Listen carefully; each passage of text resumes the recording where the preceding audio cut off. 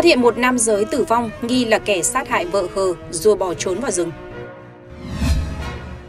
Triệt phá sòng bạc ở Nha Trang.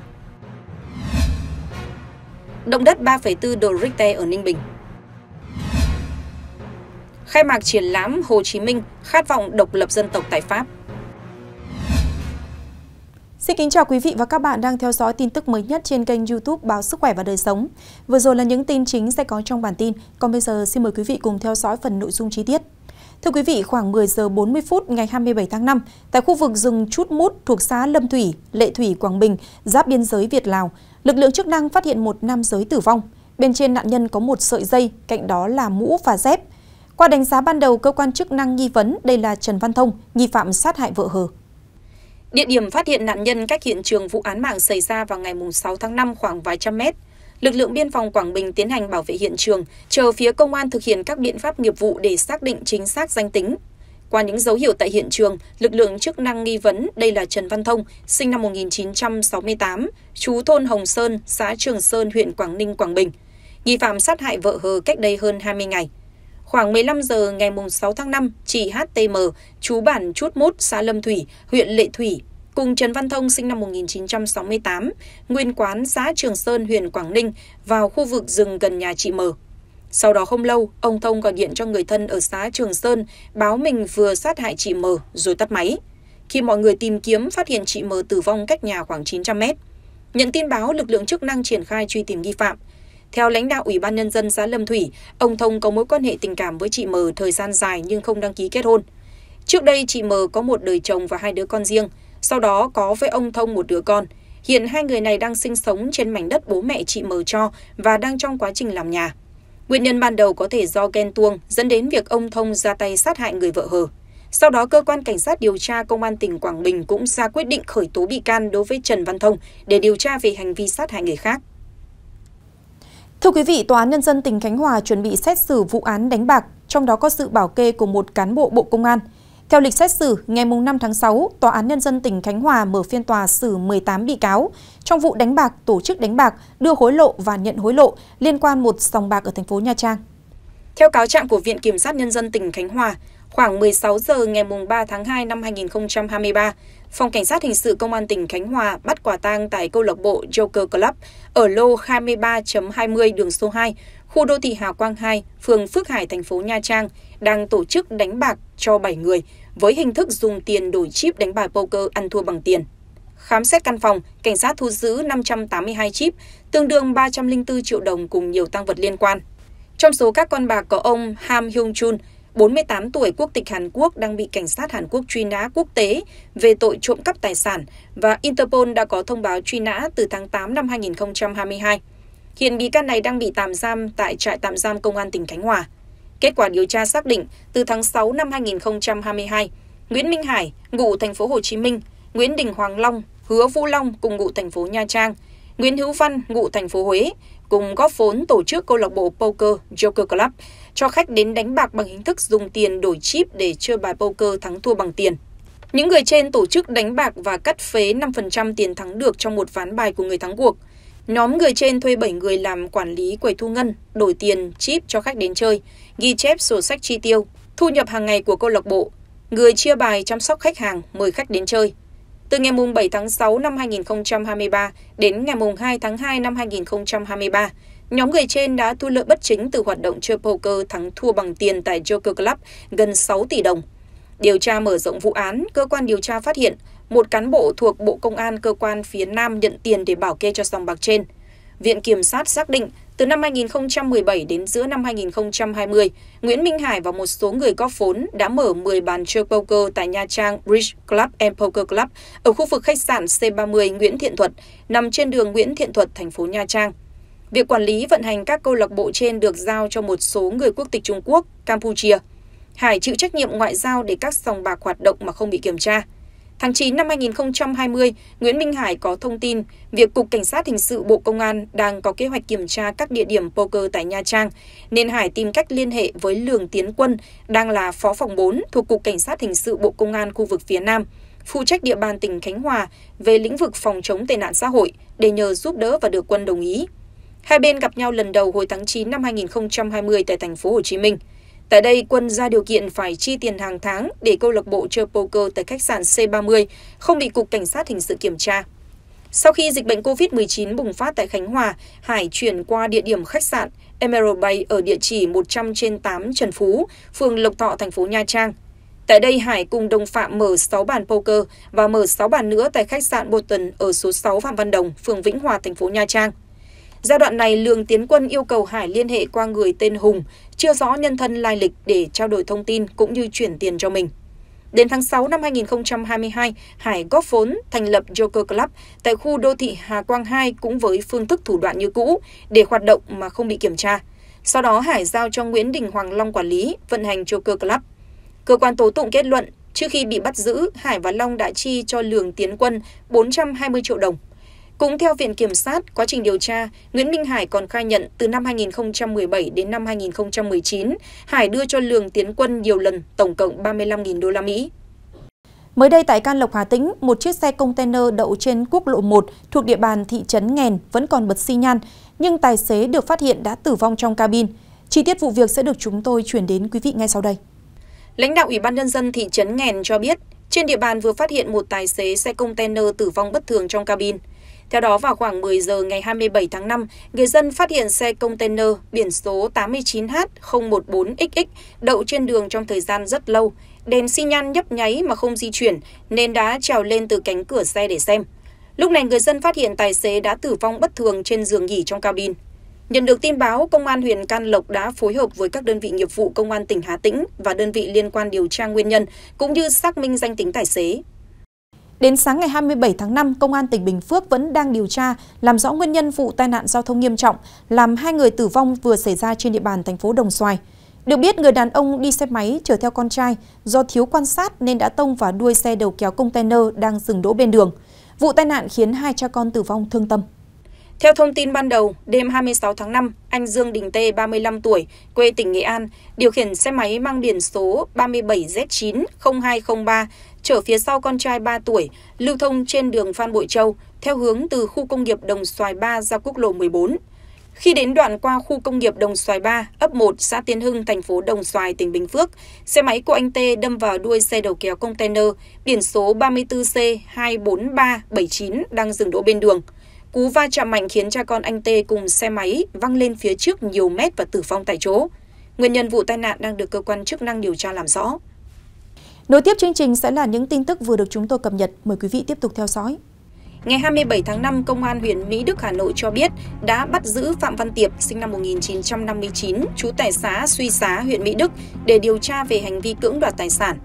Năm 2024, Tiệp làm đơn tố cáo ông C, 61 tuổi, nguyên là bí thư, chủ tịch một xã trên địa bàn huyện Mỹ Đức, có nhiều sai phạm trong việc quản lý sử dụng đất đai. Sau đó, ông C trao đổi với Tiệp và đề nghị rút đơn tố cáo. Tuy nhiên, Tiệp đưa ra điều kiện ông C phải đưa số tiền 500 triệu đồng, nếu không sẽ gửi đơn lên cấp cao hơn. Ngày 26 tháng 5, ông C đưa 500 triệu đồng cho Tiệp và bị cảnh sát bắt quả tang. Hiện vụ việc đang tiếp tục được làm rõ. Ngày 27 tháng 5, đại diện phòng cảnh sát giao thông PC08 Công an thành phố Hồ Chí Minh cho biết, đơn vị đang xác minh đoạn clip xe ô tô mang biển số thành phố Hồ Chí Minh độ đèn như sân khấu di động được chia sẻ trên mạng xã hội để xác minh lái xe xử phạt. Theo nội dung đoạn clip dài 21 giây, chiếc ô tô con màu trắng độ đèn di chuyển chậm trên đường. Đáng chú ý chiếc xe vừa đi vừa chớp đèn liên tục với hai màu vàng trắng chiếu thẳng về phía trước, giống như ánh đèn sân khấu, lóa cả vào màn hình camera đang quay. Hình ảnh trong clip cho thấy chiếc xe mang biển số 51K87087, biển số đăng ký tại thành phố Hồ Chí Minh. Xem đoạn clip, đại diện phòng cảnh sát giao thông công an thành phố Hồ Chí Minh cho hay, hành vi của tài xế trong clip đã vi phạm điểm A khoản 3, điều 16, Nghị định 100 năm 2019, sửa đổi bổ sung bởi Nghị định 123 năm 2021. Cụ thể là điều khiển xe lắp thêm đèn phía trước, phía sau, trên nóc, dưới gầm, một hoặc cả hai bên thành xe, với lỗi này, cảnh sát giao thông cho hay, người lái xe sẽ bị phạt từ 1 đến 2 triệu đồng, tức bằng lái từ 1 đến 3 tháng. Ngoài việc bị áp dụng hình thức xử phạt, người lái xe thực hiện hành vi vi phạm còn bị buộc phải lắp đầy đủ thiết bị hoặc khôi phục lại tính năng kỹ thuật của thiết bị theo quy định, tháo bỏ những thiết bị lắp thêm không đúng quy định. Sáng 27 tháng 5, Sở Giao thông Vận tải tỉnh Phú Yên đã có văn bản số 175 BC SGTVT gửi Bộ Giao thông Vận tải, Ủy ban nhân dân tỉnh Phú Yên và các cơ quan chức trách liên quan về tình hình khắc phục sự cố sạt lở hầm Trí Thạnh trên tuyến đường sắt xuyên Việt qua địa phận huyện Tuy An. Theo văn bản này, khi Thứ trưởng Bộ Giao thông Vận tải Nguyễn Danh Huy trực tiếp kiểm tra tại hiện trường hầm Trí Thạnh ngày 23 tháng 5, Ban Quản lý Dự án 85 của Bộ Giao thông Vận tải dự kiến thời gian nỗ lực khắc phục xong sự cố để thông tàu trong ngày 26 tháng 5. Tuy nhiên trong quá trình huy động nhân lực, phương tiện thiết bị thu dọn đất đá bên trong hầm Trí Thạnh, thì sáng 26 tháng 5, tình trạng sạt lở tái diễn với khoảng 50 mét khối đất đá.